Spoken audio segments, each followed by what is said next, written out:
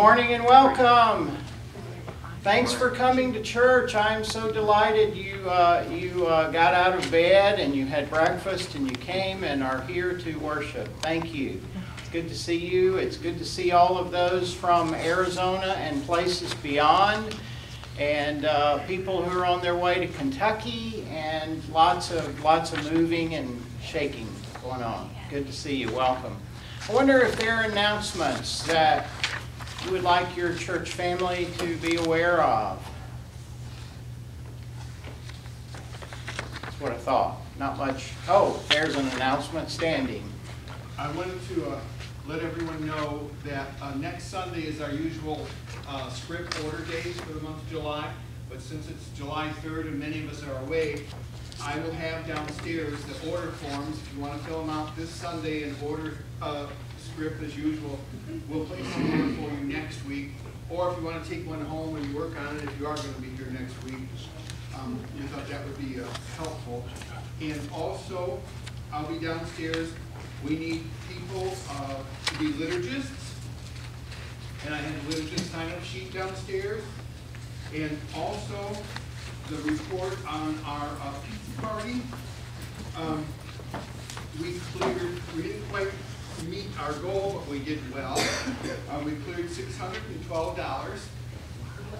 We cleared six hundred and twelve dollars.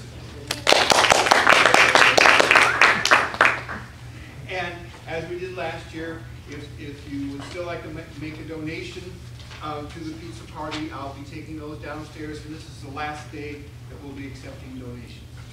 Very good, thank you. Other announcements? Please be in prayer for the group headed to Buckhorn. Uh, Darren and Melanie are headed today. No, next week. Tomorrow. I I was almost right. Uh, They're headed tomorrow and the likes uh, later in the week to accomplish multiple tasks in the Buckhorn uh, Lake Presbyterian Church. So uh, it's always a wonderful time of service and mission, and I'm so glad that uh, our folks go and that we can pray and support them as they do that. So please do that. It's time to worship. It's time to lay aside the distractions of the week ahead or the week past and allow our minds and folk hearts to focus on God's gift to us in worship today. And we begin that with Sarah's blessing to us.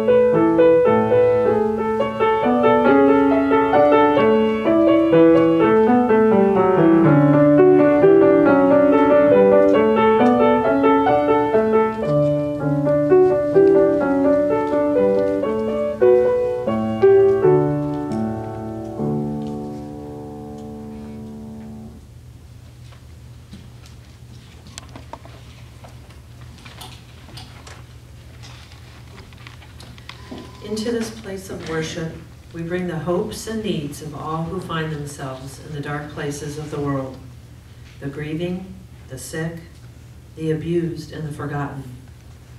Into this place of worship, we bring the hopes and dreams of all who have lost their purpose and vision the rejected, the fallen, the disappointed, and the discouraged.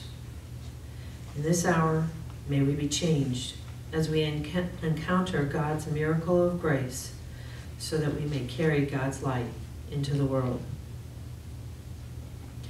On days when we think God has nothing to do with work or family or the world, The book tells us of one who was a carpenter who wandered the streets who upset his family. on the days when we think the purpose of this life is to make more money and fewer friends, The book speaks of a life of giving away of ourselves and finding a community as we do so. On days aching with loneliness and empty of love and laughter, The book draws us into the embrace of God's open heart. Please raise, uh, please stand and sing our opening hymn, Ye Servants of God, Your Master Proclaim, number 477.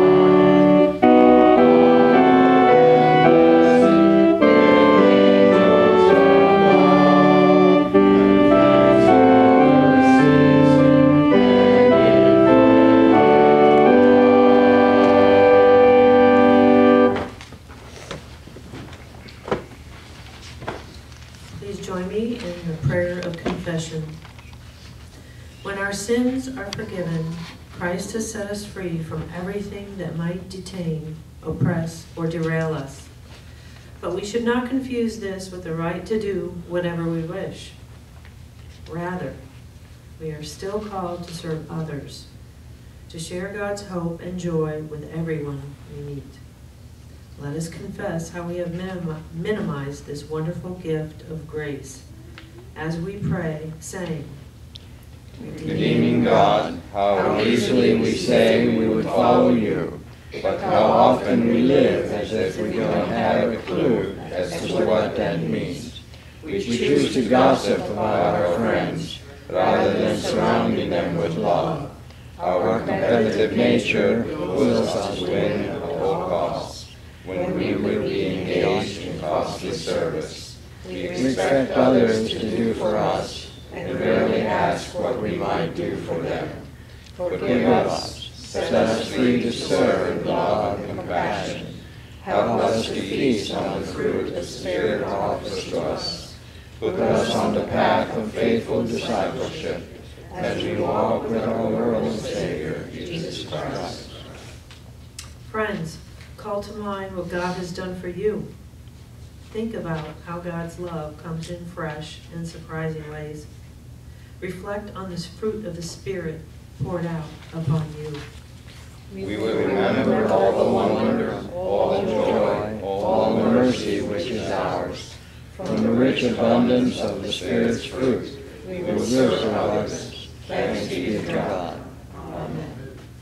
The peace of Christ be with you. And also with you. Let us share that peace with one another. Peace be with you. She's doing better. Peace be with you.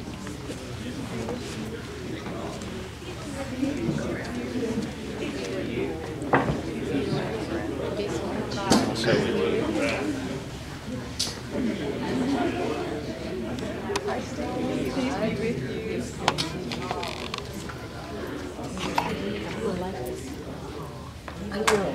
I can't type it now, but very quickly.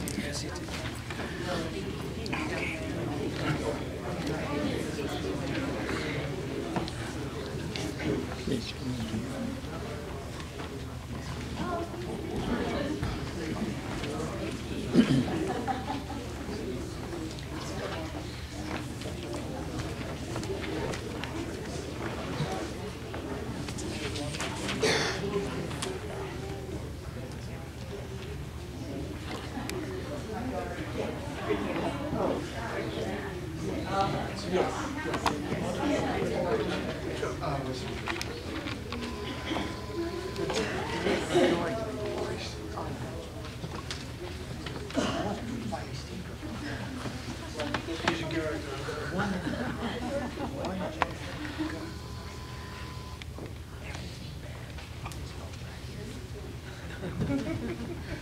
Hey guys, come on up. How are you? What you been doing? It's summer, you know. You get up at six to go to school though, right? No, You don't? it's summer vacation. Well, you have, you pretend it's like it's school, right? No. I tell you what, I know about this. How many days left until school starts? Wisconsin. counting? Okay, if you want to be up here. You don't know? No. Well, we should look. We should like mark, mark the days till school starts and look forward to it, no, right? No. It's like in two weeks, right? No? Is it like in three weeks? Yeah, no. You don't know when it starts, do you? How, how will you know school morning, hey, I gotta get up this morning? How will you know that? Mom will tell us. Oh, so if mom didn't tell you, then you could just kind of sleep forever and ever till No, she wakes me up. Oh, she wakes you up already? Even without school? Well, I want to talk about calendar, because how do you know what's coming up on your calendar? You have vacation coming up, Kind of. kind of, and you said Yes. yes, so you, How will you know it's time to go on vacation? Let's say it together. Mom will tell us. How will you know it's time to go to grandma and grandpa's?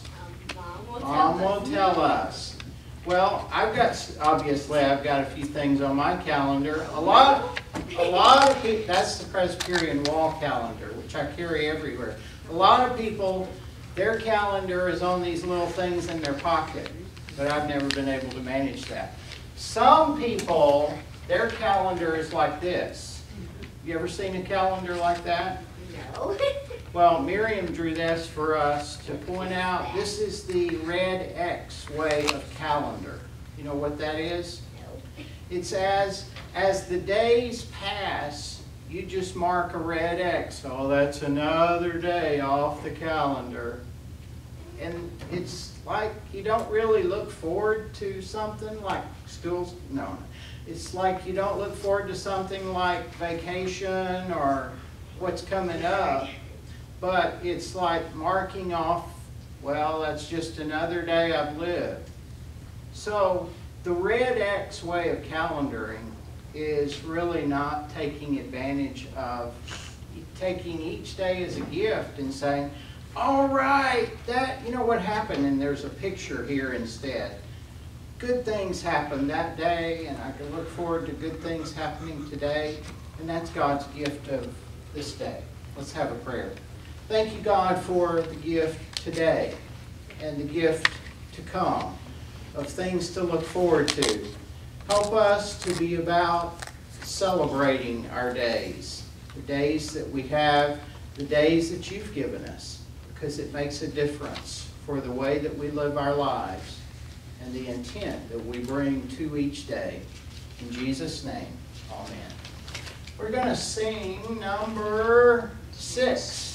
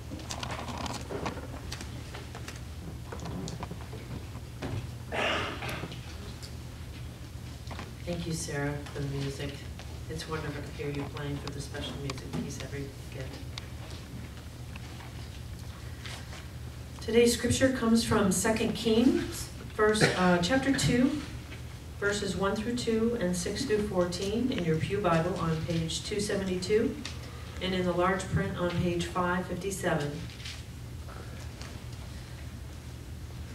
When the Lord was about to take Elijah up to heaven in a whirlwind, Elijah and Elisha were on their way from Gilgal.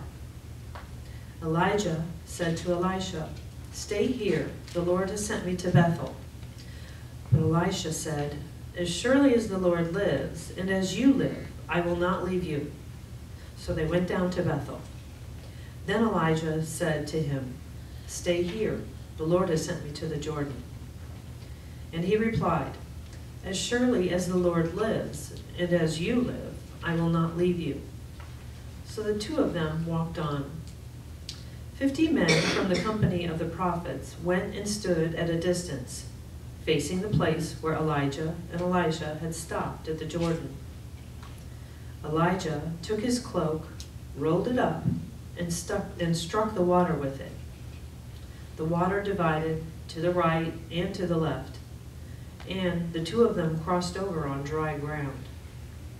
When they had crossed, Elijah said to Elisha, Tell me, what can I do for you before I am taken from you?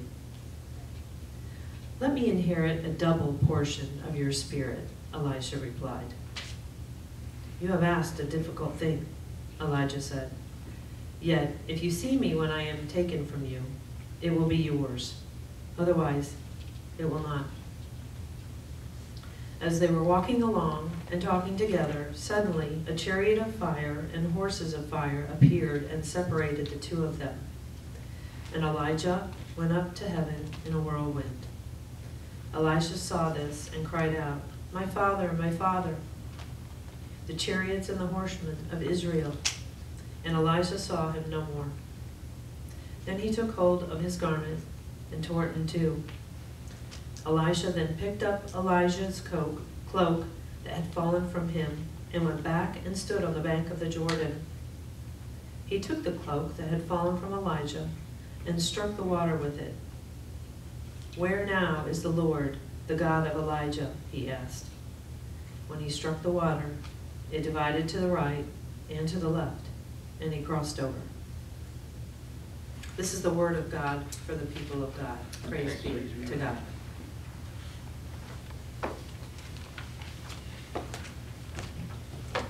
Scripture continues in Luke, the ninth chapter. And that can be found in the Pew Bible on page 792 or in the large print of 1598. Would you hear a word of hope for your life? As the time approached for Jesus to be taken up to heaven, Jesus resolutely set out for Jerusalem. And he sent messengers on ahead who went into a Samaritan village to get things ready for him. But the people there did not welcome him because he was headed for Jerusalem. When the disciples asked James and John, saw this, they asked, Lord, do you want us to call fire down from heaven to destroy them? Jesus turned and rebuked them, and they went to another village. As they were walking along a road, a man said to him, I will follow you wherever you go. Jesus replied, Foxes have holes and birds of the air have nests, but the Son of Man has nowhere to lay his head. He said to another man, Follow me. But the man replied, Lord, let me first go and bury my father. Jesus said to him, Let the dead bury their own dead, but you go and proclaim the kingdom of God. Still another said, I will follow you, Lord, but first let me go back and say goodbye to my family. Jesus replied, No one who puts his hand to the plow and looks back is fit for service in the kingdom of God. May we pray. May the words of my mouth and the meditation of all of our hearts be acceptable to you, O Lord, our rock and our redeemer. Amen.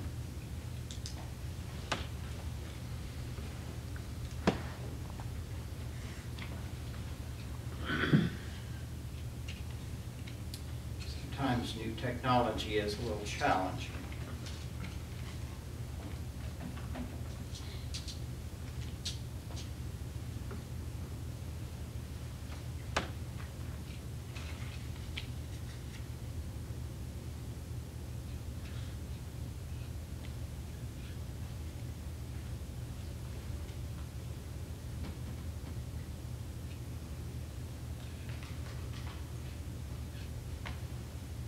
Churches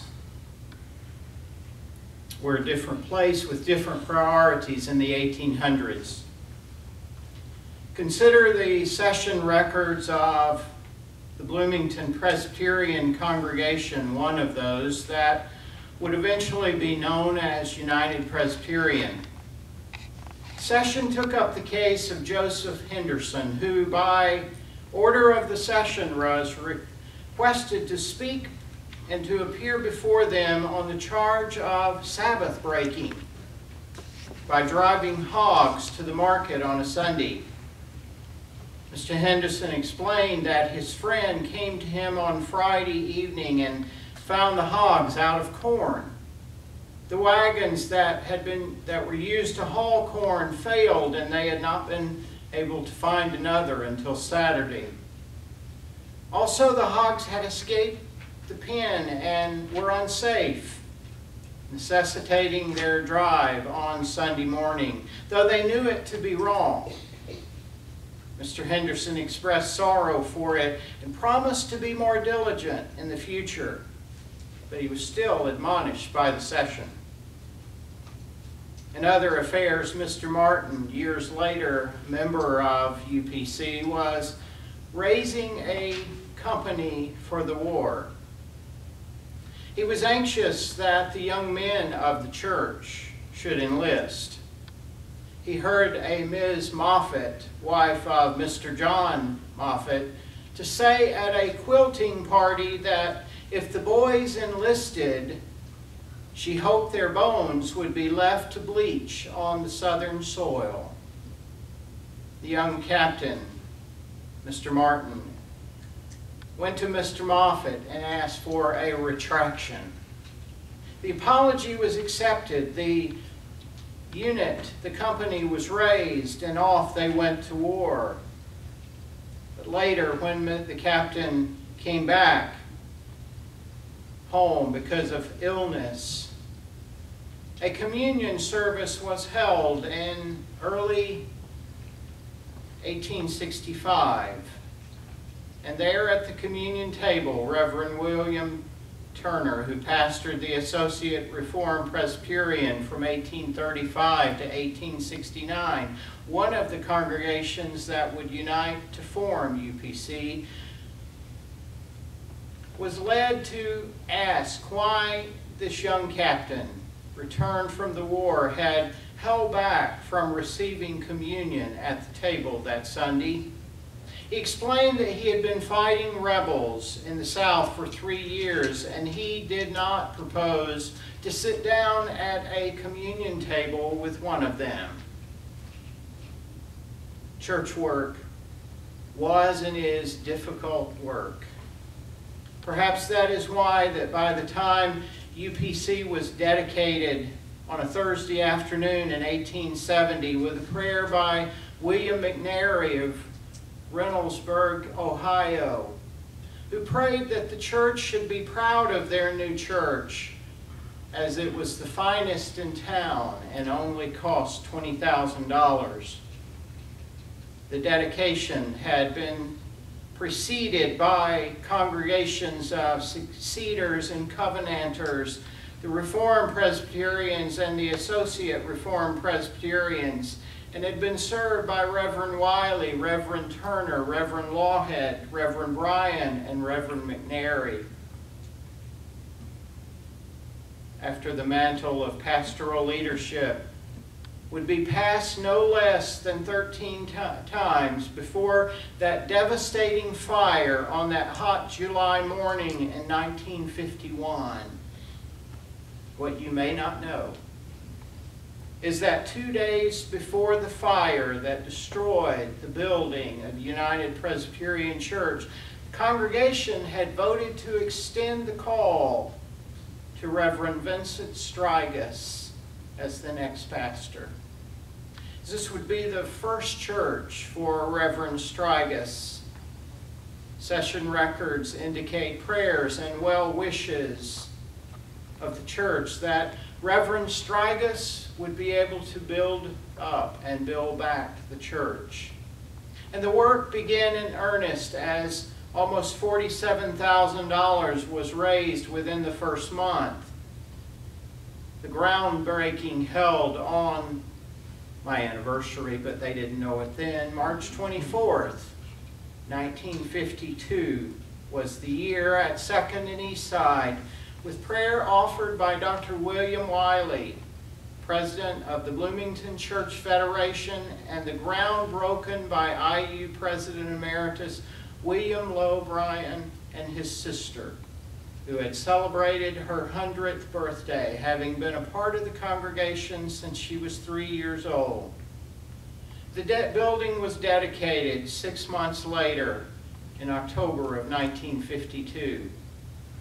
Reverend Strigus would only remain as pastor another year following the three-year term of Reverend McAllister and the five-year term of Reverend Eiler. When Reverend Eiler left in January of 61, it would be two years to almost to the date before a new call would be extended to Reverend David Ferris from Ballston Spa Presbyterian Church in New York. And he said yes, and for $6,800 a year in base salary, he began his church, his service at a congregational meeting in January 1963. Changing a pastoral mantle is never easy, nor it is a guarantee that pastor and church will live happily ever after. Elijah the prophet knew that it was time for his leadership to end. He had defeated in mass those who worshiped other gods. He had embarrassed the wicked queen Jezebel. He had emerged from depression and despondency. Now he was being led away. And a young prophet with more energy than smarts by the name of Elisha would take his place. One day, Elijah invited his young understudy to accompany him on a walk. They walked away, and Elijah asked Elisha to stay there. No, I will not leave you, was young Elisha's response. So they walked further. Those who had also followed Elijah were also following and added their color commentary. Hey, Elisha, do you know that God is going to take Elijah away from you today? You know that, don't you? And his response, I know, be quiet. Sometimes you just don't want to hear it. So again, the mentor says, Stay here. I will not leave you. So they walked further, and the peanut gallery interjects, You know he's going to leave? I know, be quiet. A third time, I will not leave you. Does it ever seem like the world has a giant clock around its neck? With the seconds of our lives, our careers, our pursuits ticking down to zero? Do you ever feel that everywhere you look and everything you desire is running out of time? Elijah takes off his cloak, his mantle, and hits the water. Suddenly it parts, and the two of them walk across on dry ground. And Elijah asks, What can I do for you before I leave? Have you ever been asked that by a grandparent, parent, a mentor, before their departure? What can I do for you before you leave? What did you say? Can you even formulate a response? You leave me your library, your contact list, your recipes, the key to the vacation cottage? But Elijah proves why he selected Elisha. For the response of Elisha was right on. Give me a double portion of your spirit. In other words, Give me your gifts. Give me your ability to discern people and situations. Give me your wisdom. Give me your patience.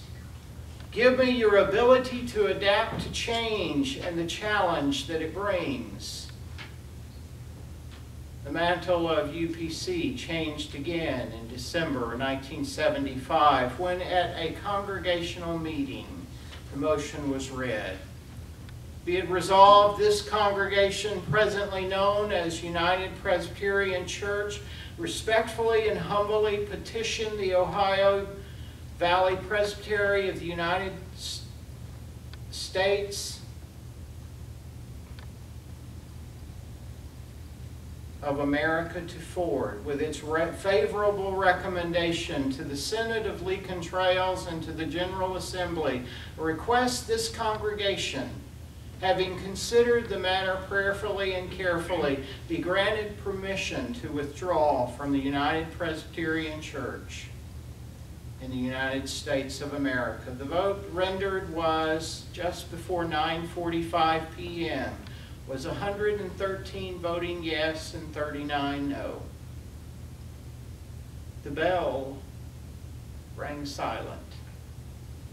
Will the mantle be passed? The sound of children and choirs ever be heard in these hallways again? And five months ticked by before the first session record after that fateful day.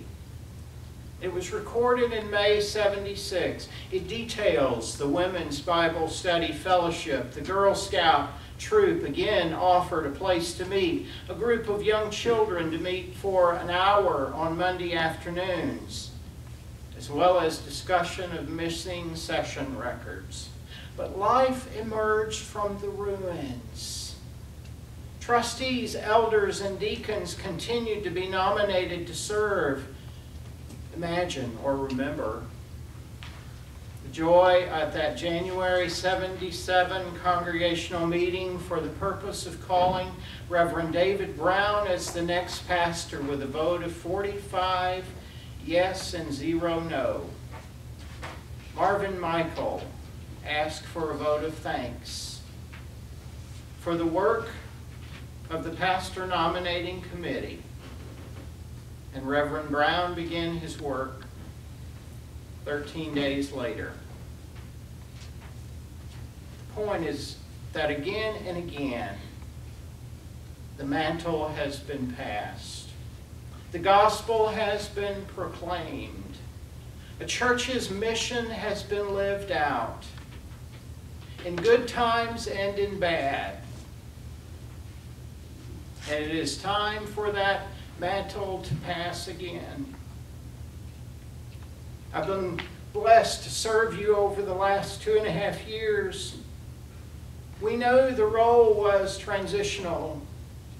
And while some believe the interim work can easily morph into permanent work, I will never see the wisdom in that. We've made difficult decisions. We've revamped our financial and accounting systems we are changing into from a committee focus into a team focus in which many more can have a role. But it has come time for me, like Elijah, to say, I must leave you soon. And so I have announced a session on Tuesday. That Sunday, July 17th, will be my last Sunday as your transitional pastor. I will transition to our new home in Bristol, Tennessee, and continue looking and praying for God's next role. And as I've told Linda countless times over the last two years, you followed me for 30 years. It's now time for me to follow you. And, I, and she is excited to begin her work at King University. I know that I'll continue coaching pastors and churches into better self-care and upholding more solid boundaries, as well as teaching transitional ministry education at two of the Presbyterian churches, Presbyterian church sites that offer that training. In the days that we have left, what do you want me to do for you? I would hope that we will continue to remember and to celebrate. I would hope to invoke within you a tremendous sense of gratitude, not necessarily for me or what I have done, but rather what we have done together. And for where you are now that puts you in a good place to welcome your first permanent shepherd in almost a quarter century. Jesus in today's gospel found himself in a similar place. It came time for his ministry to end. And he and his disciples encountered a group of people who were selfishly not on board with what he was trying to do. The disciples wanted to firebomb them off the map. But Jesus, in perfect style, told a story to illustrate. Imagine several who come and say, I'm with what you're doing here. Consider me in. But Jesus knew that kind of commitment called for in the Christian life is difficult at best.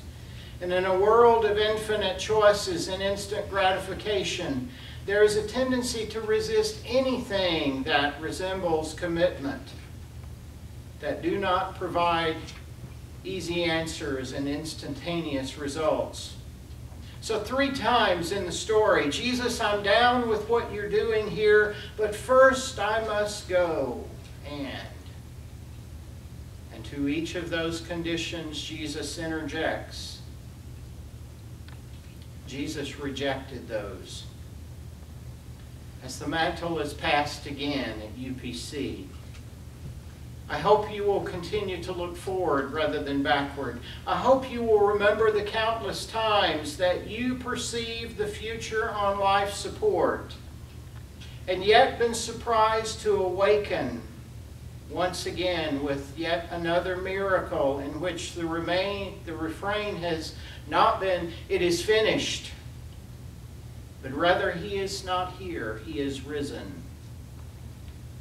And I hope you will ask and pray, as it says in the call to leadership in this church, for a double portion of energy, intelligence, imagination, and love. And may it be so, and may God's people declare, we will, with the help of God. Amen. May we pray. Holy God and great physician, as the mantle has been passed repeatedly in these many years, we have been privy to church fights and church healings.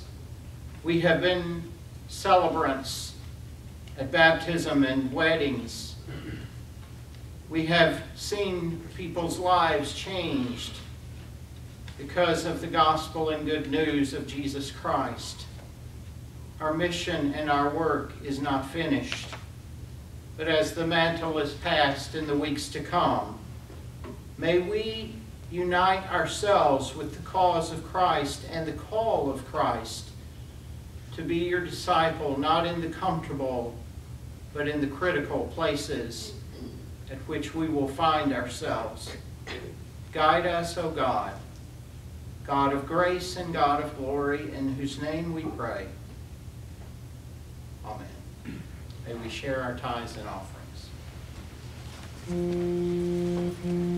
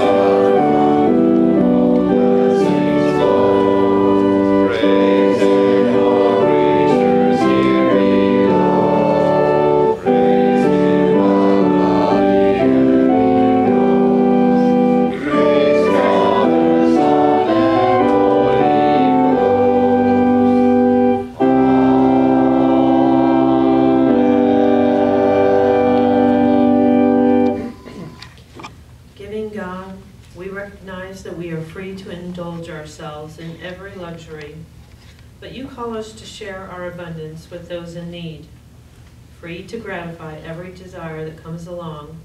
Instead, we would serve those who have so little. Free to hoard all that we have and are, lead us to give ourselves away to everyone we meet, risking our good names and reputations with our families and friends, and to welcome those who are lonely and afraid. All in the name of Jesus Christ, our Redeemer and friend. Amen.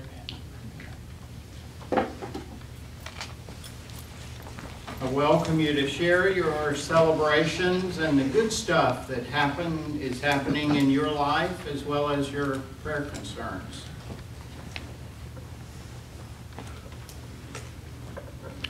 Sue says uh, hello to everybody. She is getting stronger slowly. Went out yesterday and got her hair fixed at a beauty shop. Wow. Sapped all of her strength. so um, maybe in a couple of weeks she might be back. Okay. So Sue got a new haircut and she continues to improve. That's an answer to prayer. Others? Bob and then Evelyn Foster.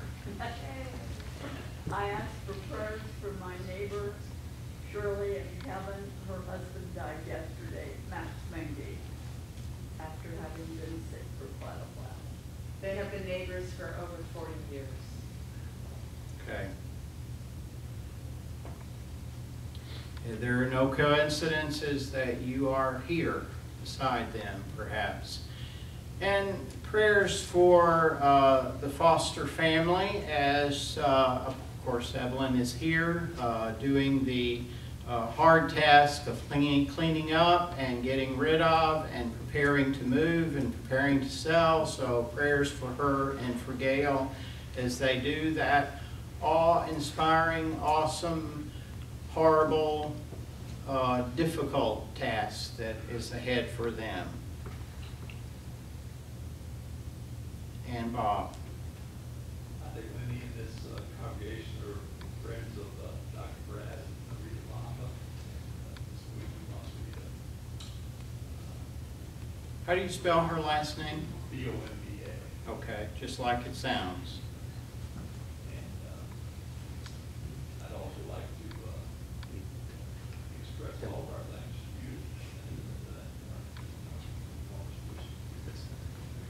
thanks Lou? I'd like everybody to pray for John Hatton. He had a, uh, like a stroke.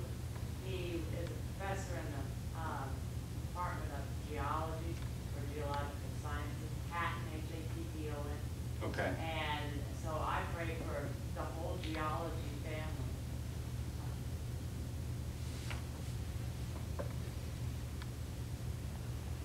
Okay. Uh, Heaven mercy for my brothers coming back today from Iowa, and to my beloved wife and my children. We're gonna go to Lebanon at the end of the week. Trip to Lebanon and uh, travel of Sahel and Ali from Iowa today.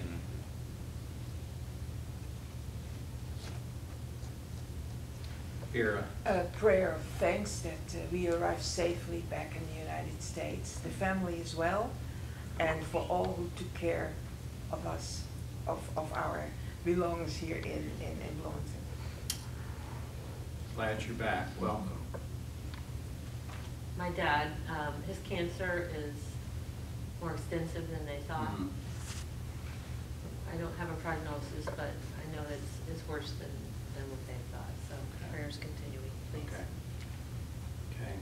And prayers continued for Kareem Spear uh, as they continue to assess next steps uh, for his treatment. And also prayers, please, for Linda's uncle, uh, Clara Skidmore in Lafayette, who uh, continues to decline and uh, may uh, have um, only uh, hours or days to live, but is less uh, responsive than when I saw him on Monday. So please pray for Clarice and Louise.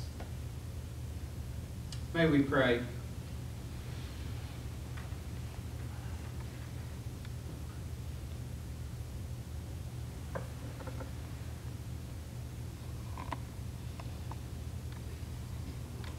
in this place and in your presence. It's good to be here with each other where we know that prayer works. But it's not like cold process. It's not a cold formula that we pray and you answer but it's a relationship filled with heart and hope, filled with struggle and doubt.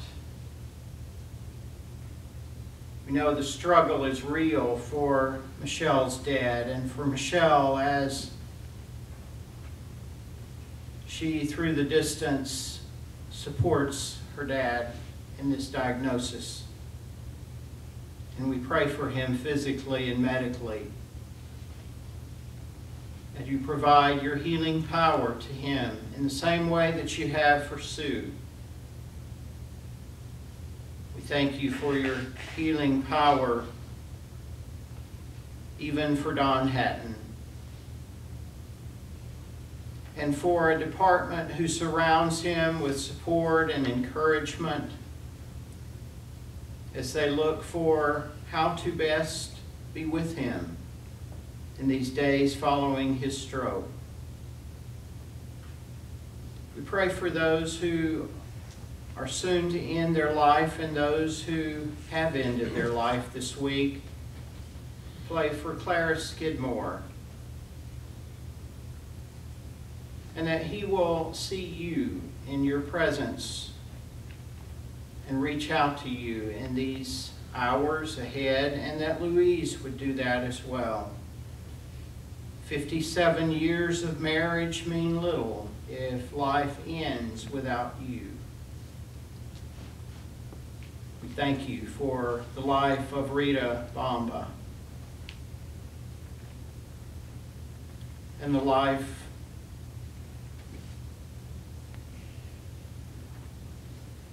of Kevin. And we pray for his dear wife, Shirley, as she wonders what next, but also as she celebrates Kevin's life. In transition and change and travel, we ask your guidance and your blessings along the way. Thanking you for bringing the Heitinks back. Praying the same for the Haddads, those who will come today and those who will leave in the days to come to travel abroad and visit family and reacquaint with old home places and old parts of their lives that are still important, that remain important. We thank you for being with Evelyn and for Gail in these days of challenge. Pray you would continue to guide them as they know what to keep and what to throw away, what to take with them and what to leave behind. And in all of this, may their faith be that that they keep and goes with them and is strong as they celebrate their life and their years here, as we celebrate them with us. In the days to come, may we continue to ask for from you a double portion of your Spirit. And may that Spirit be strong within us as we pray together that prayer that holds us united in Christ. And as we say as one, Our Father, who art in heaven, hallowed be thy name. Thy kingdom come, thy will be done on earth as it is in heaven. Give us this day our daily bread, and forgive us our debts, as we forgive our debtors. And lead us not into temptation, but deliver us from the evil one. For thine is the kingdom, and the power, and the glory forever. Our hymn is number 375, Lord of all good. May we stand as we sing.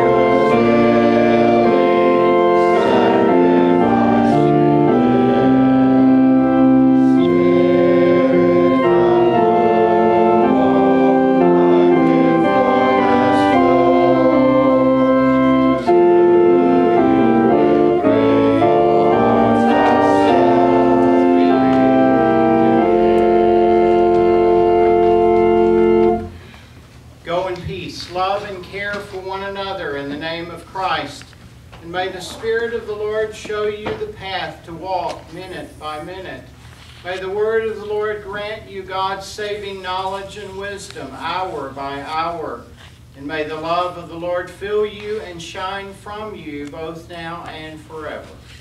Amen. Go in peace.